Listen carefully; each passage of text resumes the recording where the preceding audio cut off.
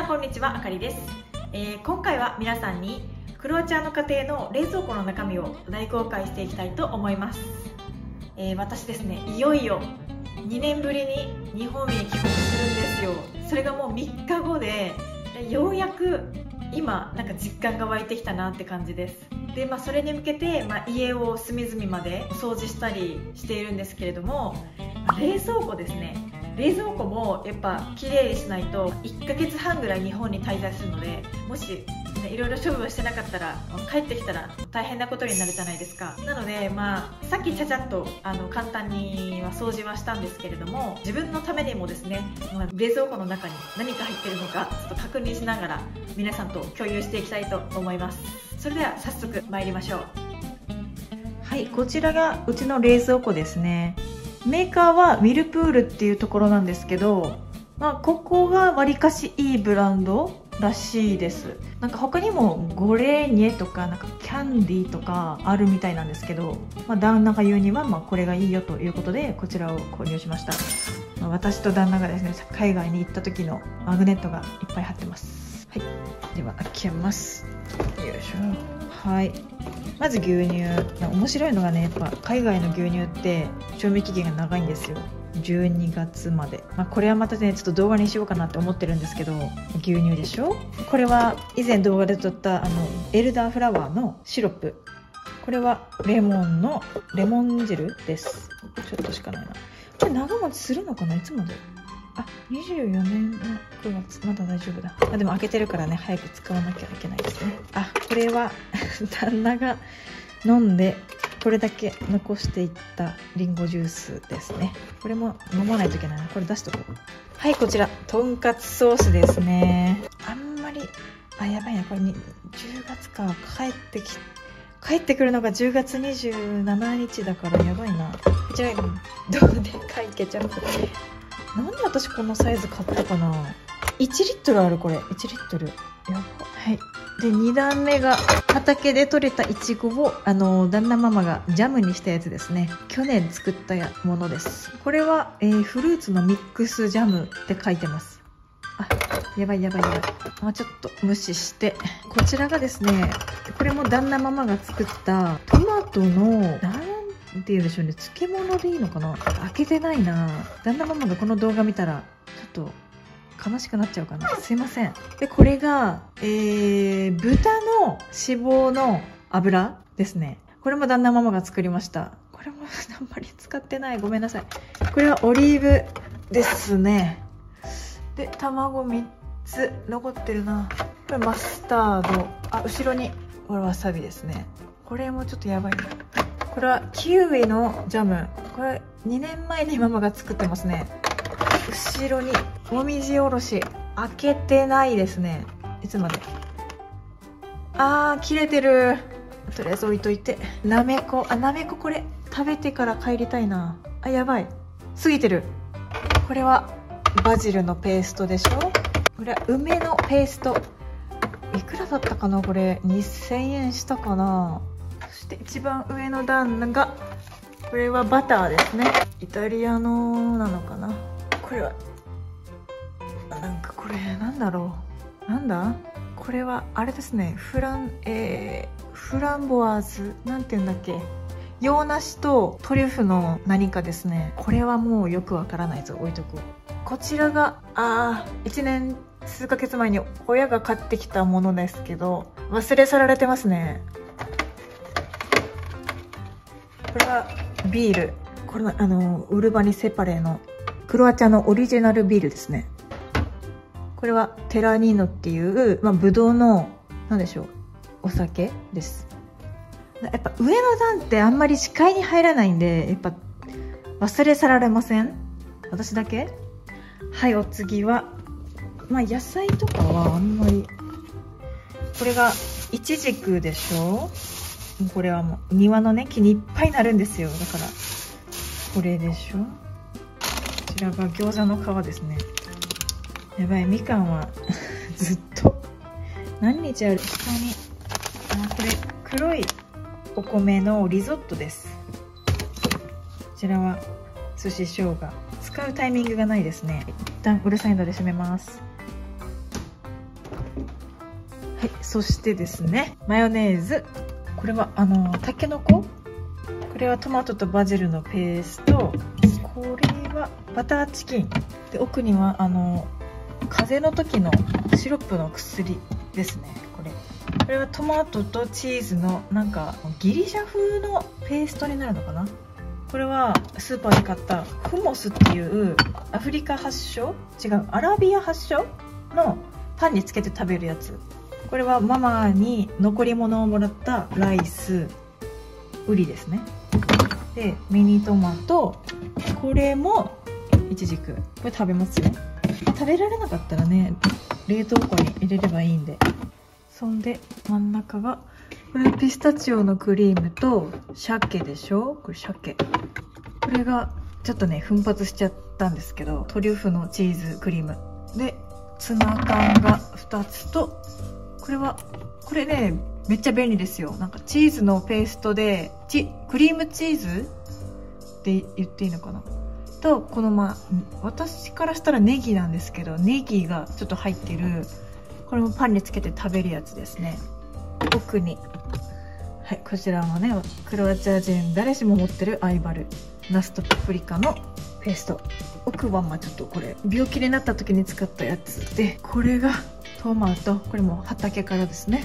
あーこれはあれだな漬物かな。違うキムチだ。あとは？これはヨーグルトでしょ？これが漬物かな。たくあん。これもたくあんですね。はい。で上一番上がここに味噌がありますね。これは、まあ、赤味噌になるんですかね。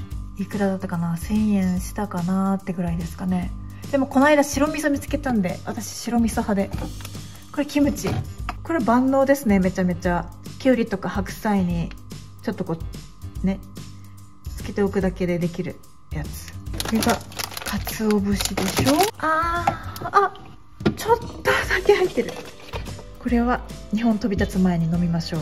やっぱちゃんとこうねこのパッケージが表側が見えてないと忘れ去られがちですよね。これがコチュジャンまだ1回も開けてないですね。タイミングがないな。え12月までか。これがめんつゆを作って余ったやつですね。こちらは旦那がなんか空港で買ってきたのかな。酒です。あまただはい。ラストスパートですね。これがビールね。ドックラガービールどこさんかな？読めませんね。はい。なんかなんか奥にあるんだよな。とか。見えますかね？あれは何だ？遠い。使って。優雅。これもお酒ですね。プロダクトオブジャパン。多分旦那が買ってきた。飲む機会がねないから。そんでね後ろに。お母さんごめん。食べるの忘れてたわ。プッチンプリンそんな感じですね。でうち食品の保管庫シュパイザーっていうんですけど英語ではパントリーっていうのかながあってまとまってるのかまとまってないのかちょっとわからない感じですけど上は屋根裏部屋ですね。物置になってますけどがあってまあ全部一個一個説明してたらちょっと時間がねかかっちゃうのであれですけどここしたスープとかインスタントスープが入っててここはあのコンソメとかのスープでしょ？あこれなんかやっぱ使うのがもったいなくて使ってないですね。使わなきゃな。とまあこっちまあ粉物がありますね。ケーキも最近あんま作らないですけどケーキの粉とか片栗粉でしょ？片栗粉パン粉。これが天ぷらの粉か。これ誰が買ったのかな？米粉ですね。米粉でなんか餅作れるらしいんでちょっと今度トライしてみたいと思います。これクロワッサンの食べかけね。よくなんか学生とかが学校に持って行ったりしてます。上は、ま、パスタたちとかお蕎麦もあるしトマトソースとかコーン向こうはツナとか入ってますね。上がだしの素とあのバルサミコ米酢パンプキンオイルセサミオイル。これはシリアルのボックスとか。こっちはあの友達のお家とか上がる時にやっぱ手土産が必要なのでジュースがセールしてる時は買いだめしたりしてます。これがセールの時に買ったあのアガベシロップ。これがあの栗かな？栗のクリーム？これイタリアで買いましたね。マロン。これがベゲタ。クロアチア発祥。これはフライオニオン。これがねあのスーパーであのアジアイベントとかがあるんですけどその時に見つけたおせんべいです。普段そんなに日本にいた時はおせんべいめっちゃ好きとかではないんですけどやっぱ見たら買っちゃいますよね。これとおかき。友達とかが来たらこれを出してちょっとねなんか話題になったら面白いかなとか思って買いました。これがあの春雨のやつ。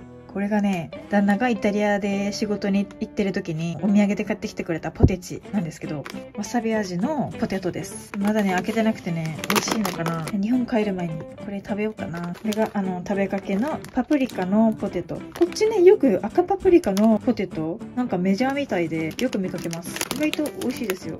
こっち系はねあのイタリアで買ったものなんですけどこのねこのトマトのペーストの何でしょう。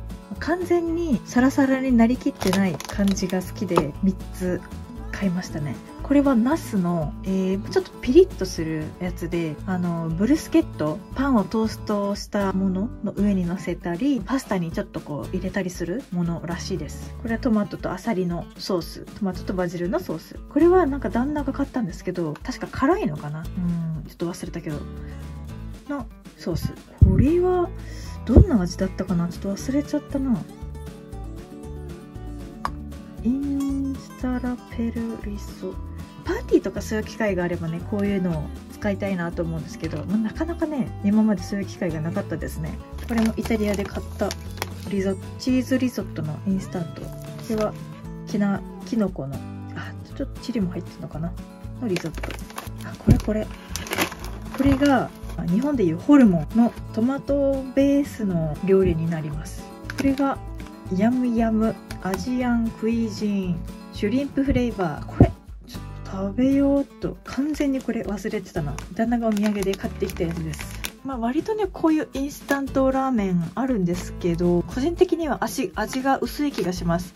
なのであのさっきお見せしたお味噌を足したりごま油を足したりとかして食べてますね。これは私のお気に入りのお菓子なんですけどブルスケッテって言ってあのカタカナだとブルスケットのあのパンのトーストあるじゃないですか。あれのチーズ味になります。すごいカリッカリしててめっちゃ美味しいです。どこかな？これはメイドインブルガリアって書いてますね。はいいかがでしたでしょうか？まあ、クロアチアはあの先進国ではないので他の海外の国に比べると脱脂パックとかないのでちょっとその辺はですね今度日本に帰国する時にもういっぱいもう買いだめして帰ってこようと思うんですけど、まあ、その時はねまた動画を作ろうかなと考えております。本当はあのルームツアー動画もちょっと撮りたいなとかも考えたんですけどちょっと未完成な部屋があるので、いろいろ今後少しずつ家具を買い足していってからまたその動画は作ろうかなと思っております、まあ、その他リクエスト等ありましたらぜひコメント欄で教えていただけるとありがたいです。最後までご視聴ありがとうございます。それではまた次の動画でお会いしましょう。またね